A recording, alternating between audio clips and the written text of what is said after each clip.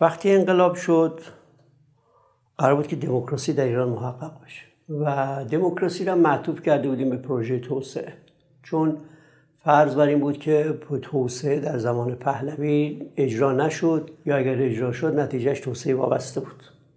ما قرار بود که نظام مستقل سیاسی یه توسعه ملی داشته باشیم. از توش هم دموکراسی در بیشترین انرژی که مردمان ایرانی چه مسلمان چه غیر مسلمان چه مدافع چه مخالف چه راست چه چپ. تو این چه بیش از 14 مصرف کردن در استقرار جمهوری اسلامی بود. تلاش بسیار نادری برای توسعه و بسیار کم خیلی کمتر برای دموکراسی در این اتفاق افتاد. مثلا دو تا اتفاق در تاریخ جمهوری اسلامی هستی که اتفاق دوره آقای هاشمی که گامی برمیداره برای توسعه که شکست می‌خوره. و یکی آقای خاتمی که گامی برمیداره برای دموکراسی اونم شکست می‌خوره. به همین دلیل شما نگاه کنید وقتی می‌بینید می‌بینید که بیشترین تلاش دولت گروه های سیاسی ضدیت با سرمایه دار و سرمایه کارگزاران ملی محلی بومی و کارآفرینانه. شما نمی‌بینید که یه جایی یه مؤسسه اقتصادی تو این 40 50 سال درست شده باشه بعد بتونه تکثیر کنه خودش رو کالا درست کنه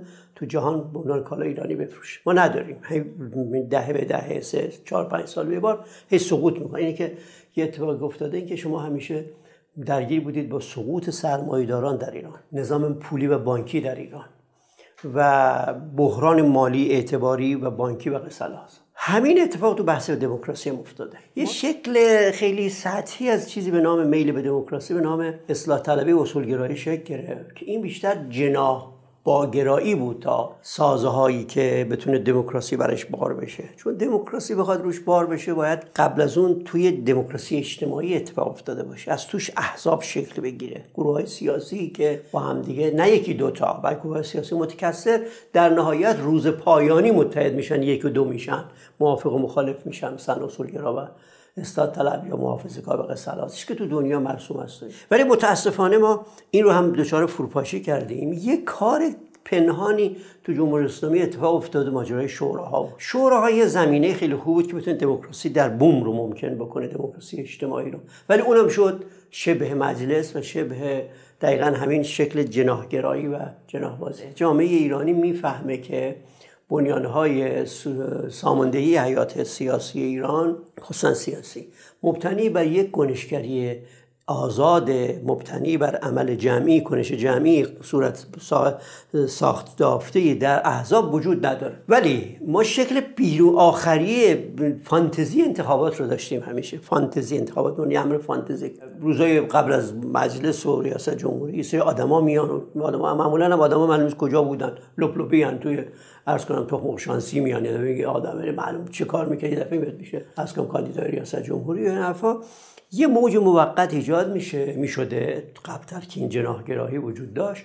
بعد یه آدمی با رأی اکثریتی به صحنه قدرت می‌رسید. تا جایی که دیگه اصلا جمهوری اسلامی نشید که آقا این داره تلف می‌کنه انرژی ها رو. هر کی میاد بالا میشه معارض با نظام سیاسی. چون توهم این رو داره که نماینده جامعه جامعه ایران از اول بیرون بود از اول جدا افتاده بود. ولی یه به دلیل عواملی که هم شباهتی با نظام سیاسی به نام دین و انقلاب و سرزمین و چه و چه و این حرفا در حال مبادله و معامله با نظام سیاسی بود. یعنی مشارکت هایی که جامعه کرده توی انتخابات همیشه مشروط به یک امر بوده بر اساس یه معامله بوده نه بر اساس تن دادن و در اختیار قرار گرفتن. اینه که مثلا یه دفعه اصلاح طلبا میان یه با یه مشرط این که باید فلان کار رو بکنه مردم میان مشارکت می‌کنن. اصولگراها میان به یه شرطی نمی‌دونم اصلاح میانه ها میان یه شرطی و قسلات و توسعه گراها اینه که چون شروط محقق نشده جامعه می‌بینه که من این همه شرط بستم. هیچ هم معاده بستم با نظام سیاسی ولی اتفاقی نیفتاد. موقعی رأی سفید زیاد داد یا مشارکت نکرد که جا نظام سیاسی ضعیف شده بود. وقتی نظام سیاسی قوی بود یعنی قوی چجور بود؟ در سطح بین‌الملل مسئلهش مثلا تنش زدایی بود نه تنش زایی. جهان متحد نشده علیه ایران به طور همه جانبه. از اون طرف مثلا می‌تونستن آدما به خارج برن بدونی که مهاجرت بکنن. رفت و برگشت داشته باشن.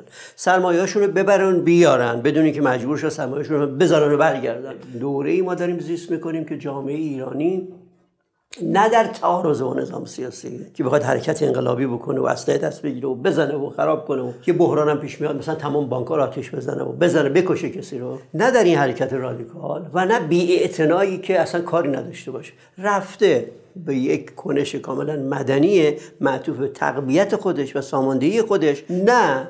در ارتباط با نظام سیاسی داره عمل می‌کنه. این یک از شرایط بسیار نادر تاریخ اجتماعی ایرانه که حالا می‌تواند نتایج مترتب بر این عمل هم باشه. یکی از نتایجش این باشه که اگه جامعه به اینجا برسه نظام سیاسی ضعیف که درگیر بحرانهای منطقی و ملی و جهانی بشود این دچار میرایی از درون که بشود بدونی که هزینه زیادی جامعه بکنه جریانی های سیاسی تو ایران اتفاق بیفته جامعه احساس می‌کنه که به کسی حرفشو نمیشنوه. کسی نیست که به دادش برسه. اصلا کسی وجود نداره. آن اگه کسی مثلا به فکر خودشونن می‌بینید که جامعه دست به مهاجرت انبوه بزرگ زده. این نافرمانی مدنی است یه انتخابه یه انتخاب مهمه. میگه آقا الان برام شرایط کافی نیست ولی میرم خودمو می‌سازم. شرایط بود برمیگردم. نمیگه میرم که بمیرم که گم بشم تو تاریخ تاریخ دنیا. تغییر تو نظام اجتماعی خانوادگی و روابط اتفاق میفته به نافرمانی اسمش نیست. انتخاب انتخاب مدنی است. و انتخابی است که هزینهشو خودش میده. تمام خودش هزینهشو داره میده. من مسلمانم به زن خانومه میگه میگه من مسلمانم. ولی اینکه تو میگی برای من قبول ندارم. ببینید اینی که مسئله حجاب جمهوری اسلامی گیر کرده این نیست که با یه جمع بیدین روبروست. بعضی فکر می‌کنن که این امام جمعه های کشور هی لحظه به لحظه دیروز مثلا دم امام جمعه اردبیل بود امام جمعه آقا اصلا این اینطوری نیست که نافرمانی دینی نمی‌کنه که تو بگیری بکنی ببریش آموزش بده برگرده هی مثلا مجازاتش کنی و جریمهش بالا. ببین میگه من اینو دین این اتفاقا دین متناسب با دینمه. کی میگه که این من وقتی که مثلا این تغییر رفتار حجابی دارم شدم بیدین. شما باید مثلا هزاران سال صد سال آموزش بدید با آدمایی که فلان کار رو بکنن ببرشون آموزش بدین کار رو بکنن. اون خودش توی مناسبات الزامای اجتماعی عمل می‌کنه. نتیجه عملش میشه اتفاقی که خودش طلب می‌کنه خودش انتخاب می‌کنه. حالا اینکه خیلی آگاهانه باشه یه ما قرب گفته باشه یه آدم روشن فکر نمی‌دونم یه آخوند یه آیت الله عجیب غریب نه اینا نیست. اصلا اینطوری نیست. اگه بخواست این کار بکنه که با نظام سیاسی وارد معامله می‌شد و معارضه می‌شد و مبادله می‌شد. نه. اقتضاعات و الزامه های اشتباه مردمان ایران مردمان جهانی هست. ما اینو به رسمیت نمی‌شناسیم. نمی‌دونیم که جهانی ترین مردم جهان در ایران مردمان ایرانی بلاز تاریخی هم بودن. این که ببین خودش رو تو جهان عرضه می‌کنه جهان رو در زیست خودش حاضر می‌دونه. به این میل شدید به بهرهگیری از فضای مجازی و استفاده از رسانه خارجی اطلاعاتی در جهان وجود داره. مهاجرت به جهان. بعد مصرف کالای جهانی. اینا هیچی لجبازی با کسی نیست. لجبازی فرهنگی نیست آقا. اینا مختصات جامعه ایرانی. جامعه ایرانی همیشه اصلی ترین عناصر جهان رو با خودش مرتبط می‌کرده و خودش همیشه مطرح می‌کرده در جامعه جهانی. ببین این صفتی است که خیلی از ملل ندارن. باید یه ملت ها رو آموزش داد که به جهان وصل اینا به تاریخی با جهان خودشون تاریخی و جهانی می‌دانن. یکیش مهم مهم این پدیده. خود همین بروز بودن رو میاره. به روز آدما. ببینید قبل از که شما اعلام کنید فلان اتفاق افتاده مردم می‌دونن. قبل شما اجازه بدید کالا رو بخرن مردم خریدن. مصرف کردن رفتن دیدن. ببینید این خیلی چیز عجیبی است که در ایران ما بهش به اصطلاح بی و توجه نمی کنیم. من به این عنوان نمون مشاخصه عمده و اساسی مثلا این رو می‌بینم که بعد خود همین یعنی یعنی این جامعه جامعه مدرنه آقا. جامعه مدرنه. مردمان مدرن داریم. خب وقتی این شد باید بهشون به شکل مدرن حرف زد. باید به شکلشون به شکل زمان معاصر باشون گفتگو کرد. شما نمی‌تونی دعوتشون کنی به خشونت در جهان یا خشونت طلبی در درون. وقتی دنبالشون می‌کنی در میرن. وای نمیستنن بزن تو گوش تو. به اتفاق مهمه ولی میرن گم نمیشن. میرن وای میستن تحمل می‌کنن که چگونه تویی که بهشون حمله کردی رو درونی بکنن با خودشون بکنن. جامعه نیروهایی که در عرصه رادیکال بوده هی داره فرسایش می‌کنه و کم می‌کنه. ببینید یه زمانه مدافعان 80 درصد 70 درصد 60 درصد 50 درصد 40 درصد بودن. امروز مدافعان به 7 درصد رسیدن. اینو کی کرده؟ بیگانه نکرده. بس می‌کنن آمریکا نشسته با از طریق این تلویزیون مزخرف مثلا این ایران اینترنشنال این کار کرد. این که توانایی به جز قیل و قال تو سر خودش زدن چیز دیگه نداره که. جامعه مختصاتش اینه که کمک داره می‌کنه. هی نیروهای خودش که به این ارزشا داره هی میاره هی میاره هی میاره. ببینید این تغییره تغییر که صفت عنصر دیگری ایرانی است که میگم داره چیز میشه منطق اجتماعی داره مسئله مهم این است که مردمان ایرانی برای اولین بار تصمیم گرفتن که زندگی کنن در جهان. قدیم هم زندگی می‌کردن و زندگی سخت. امروز ایرانی ها آموزش دیدن من غیر مستقیم لازم فرهنگ اجتماعی که دنبال زندگی باشن. از شرایط جهان استفاده کنن. از شرایط ایران استفاده. به همین دلیل که یک دفعه که یه جایی ما قراردادی نوشته میشه در مورد یه معدن مردم میگن این پول معدن کجا میره؟ به زندگی ما کجاست؟ فلان امام جمعه وقتی میره کار می‌کنه مردم همه فقان می‌کشن. چرا این کار شده؟ ببینید تو دنیام دزدی میشه ولی اینقدر فقان نمی‌کشن. فکر می‌کنن اینکه فقان می‌کشن آمریکایی‌ها دارن صورت بندی می‌کنن. توته هست نه. مردم این پولا و این اقدام ها و این پولا این جاده ها این کارها اینا این تناسبش با زندگی ما چیست؟ به این دلیل که حساسن براشون زندگی مهمه. پس زندگی چون برای ایرانیان مهم شده وقت دارن به همین دلیل که شما ببینید که مردم ایران آموزش می‌بینن چیزهای نو رو. به دانش و تکنولوژی اهمیت میدن. به اطلاعات اهمیت میدن.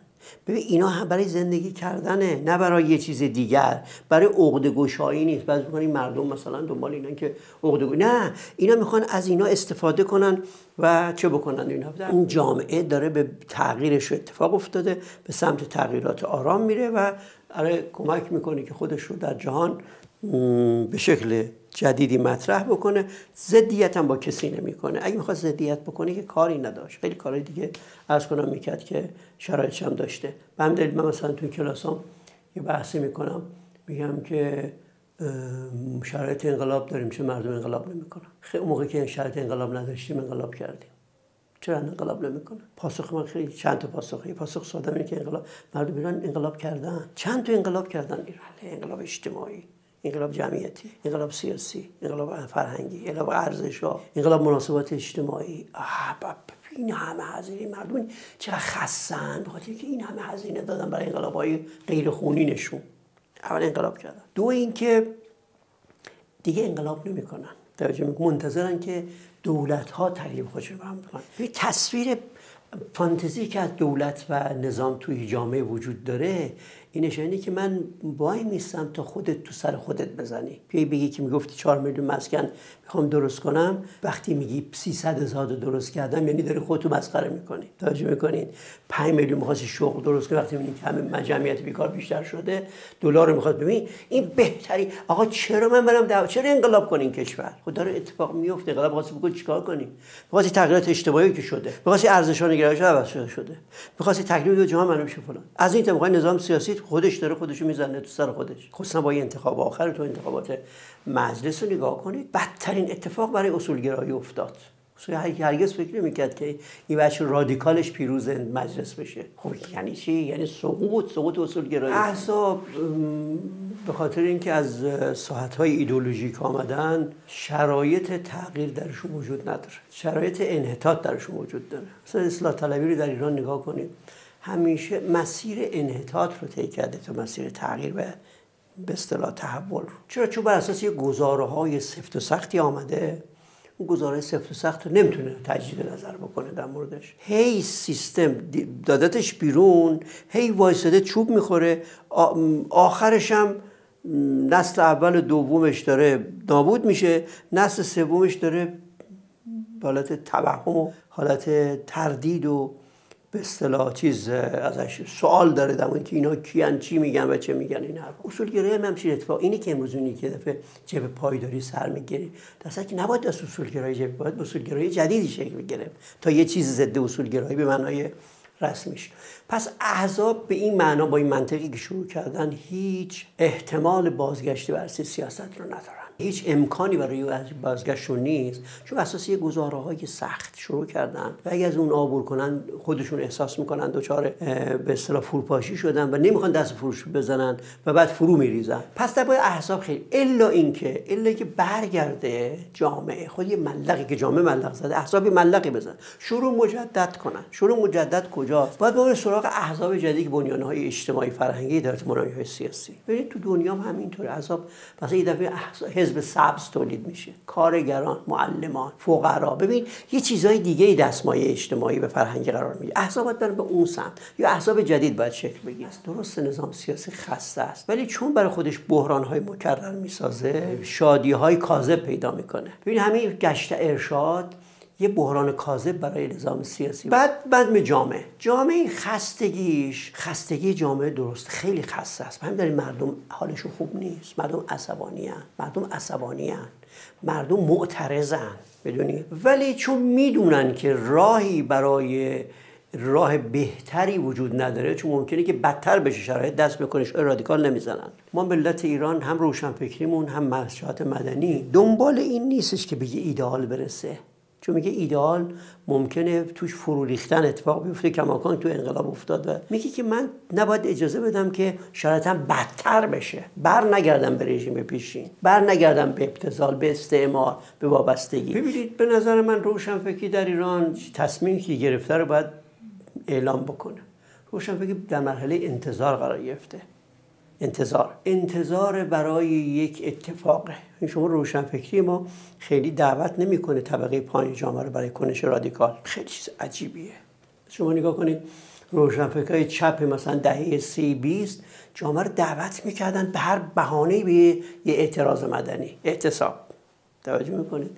نمی‌کنه روشنفکر این کار. نه اینکه نمی‌تونه می‌تونه ولی نمی‌کنه. می‌دونه چرا؟ به دلیل اینکه میگه نتیجه بخش نیست. روشنفکری تصمیمش رو باید اعلام بکنه. یا آقا من استنبا ایستادم. من حاضرم هستم. حالا تو اینجا چند تا کار نباید بکنه چند تا کار باید بکنه که همه اتفاق افتاده. یکی اینکه نباید خودشو درگیر با نظام سیاسی بکنه. به نظر من اینکه این کارو نباید بکنه. یعنی فی باید از دو قدرت فاصله گرفت. نمیگم بهش اعتراض کرد باید بهش بی کرد. اونقدر باید بی کرد که خودش ارز کنم که احساس نکنه که همچنان رقیبشینه نیروهاشو مسلح کنه برای تغییری. ببین این گزاره که اصولگرایی تو این چند سال داشته که رقیب من اول می‌گفت ملی مذهبیان چپا و ملی مذهبیان بعد آخر شد اصلاح طلبا. هنوز میگن اصلاح طلبان. ما این اصلاح طلبا خائنن.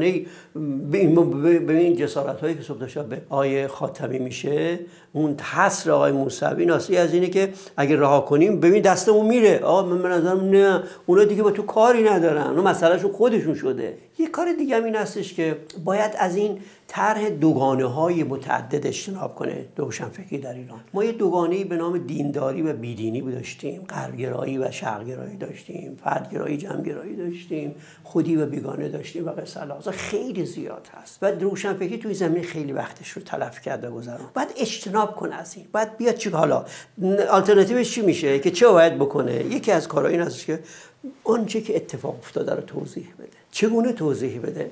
یه جایی زبان عقلی منطقی فلسفی تاریخی یه زبان زبان شعری روایی و داستانی و قصه است. چون مردمان ایران مردمان اهل فرهنگ اهل داستان و قصه و رمان رمان حال شما نمی‌بینید ولی قصه اهل قصه اهل شعر روشنفکر ایرانی باید منتقل کنه خودش رو به این عرصه با این زبان شروع کنه به چی؟ به گفتن آنچه که داریم چون شما یه دفعه توی دوره تاریخی بدترین دوره تاریخی فردوسیتون پیدا میشه و دیگران پیدا میشن. بعد باز کل یه هویت تاریخی بازسازی می‌کنن و اون دردها کم میشه. ما نیاز به تلاش روشنفکران ایرانی داریم که برن با بیان فرهنگ وضعیت موجود رو مفهوم پردازی کنن مفهوم سازی کنن و بازگو بکنن و داشته ها رو اعلام بکنن. داشته ها. این به نظرم اصلی ترین تلاشی است که هم مطبوعات هم روشنفکران هم دانشگاهیان هم منتقدان و اینا باید به اصطلاح توجه کنن. و ببینید اینجا وقت ما با یه جامعه داریم که خسته است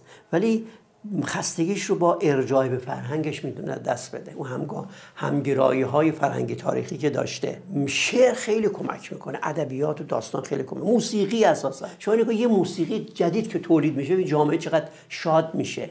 توی حوادث و وقایع. موسیقی خیلی مهمه. مثلا یه فیلم خوب ساخته میشه. توجه می‌کنید؟ یک روایت خوبی از تاریخ گفته میشه. بعد چیا رو باید گفت؟ نه من فقط مناقشه ها و منازعات بی پایان به بی حاصل رو. بلکه باید اون جایی که جامعه تونسته با هزینه کم با انرژی کم کنش های بزرگ انجام بده. ما باید حازمان بزرگ دور اینا برگردونیم توی این حازمه بزرگ که تاریخی هم بوده. این کار کار روشن فکریست این کار بکنه اون وقت یه تراوت جدیدی در ایران اتفاق میفته که اون وقت اگه فرض بی دشمن بزرگ هم اتفاق بیفته او دشمن بزرگ می‌تونه باش برخورد کنه و احساس حقارت نکنه. ببین ما توی ایران یه داریم یه تصویری می‌سازیم که روشنفکری هم اتفاقا داره می‌سازه. تصویر فرهنگی از ایران می‌سازه و تاریخی از ایران می‌سازه. و این خود همین حس دباوی مفهوم ایران وقتی این این گوناگونی میده تا معارض نیروها گوناگونی از زیبان مثل لباس رنگارنگ جلوه می‌کنه تا یک دست. روشنفکری داره به این سمت می‌بره و میره. اتفاقات هم داره همین رو نشون میده اتفاقات. توی مثلا بلوچستان سیستان بلوچستان توی ماجرای خوزستان توی کردستان که اتفاق افتاد مثلا تو جایی که اتفاق میفته تو خود تهرون به این دو... نه مال تهرونیاست ما کاری نداریم مال کردستان ما کار نداریم کردستان کار نداریم. دیگه این قصه منتفی است. و اون مفهومه اومده. داره کمک می‌کنه که ما داریم از یه مردم ایران داریم حرف می‌زنیم با گوناگونی هاش